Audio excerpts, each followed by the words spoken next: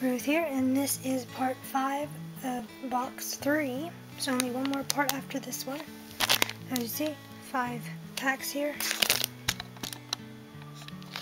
So, let's get into it. Hopefully, well, I've got 9 things left to find. So, if only one of these, or two of these, are doubles, then it's okay. But otherwise,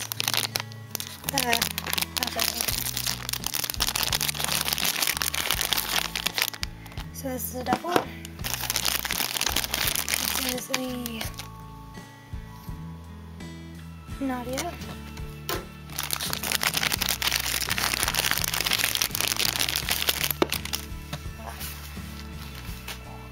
And we have the Haven little uh, marble thing.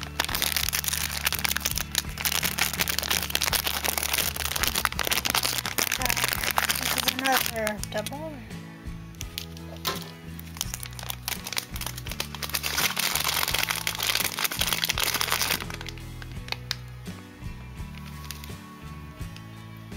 This has got like plus 200 on the back.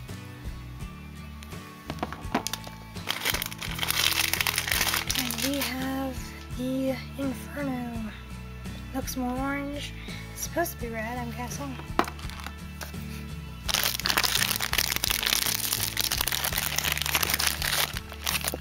so we have the Espada one again.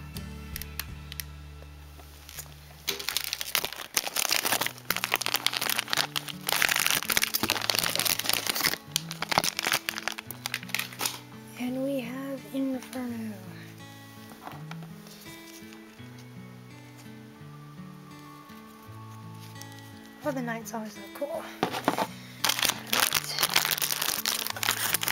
is this gonna be? Ah, it's another green dragon.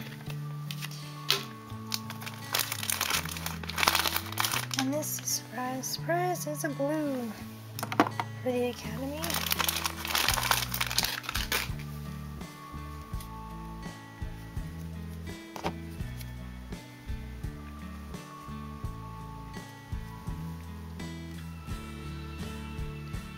I did say before, but this is plus 300 on the back.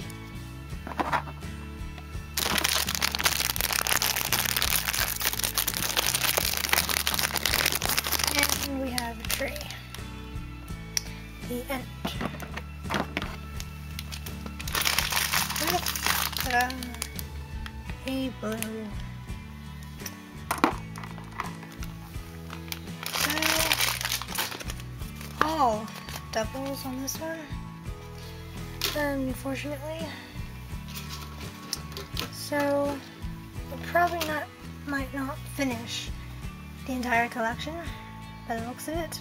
I really want to finish at least the green and the yellow. Because like there's still a griffin to find, which I really want to find. There's a reaper and the necro one. There's a last unicorn and the green one. There's like a phoenix kind of one and a blue one.